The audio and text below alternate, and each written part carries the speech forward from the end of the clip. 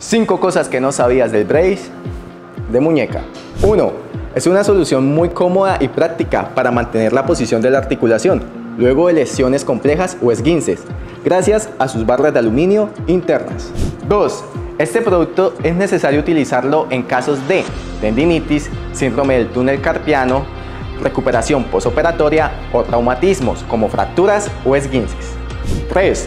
Para el uso correcto de este producto nos debemos asegurar que la abertura del braid de muñeca debe quedar en la parte posterior de la mano.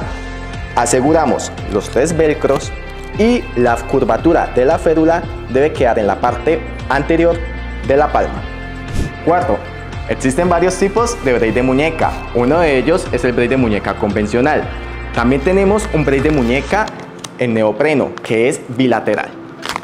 Sigue el braid de muñeca doble férula corto, braid de muñeca doble férula largo y por último braid de muñeca con pulgar en aducción.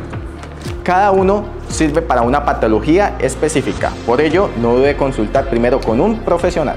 Quinto, en caso de presentar una respuesta alérgica debido al material del braid de muñeca, suspenda su uso y no olvide consultar a su médico especialista.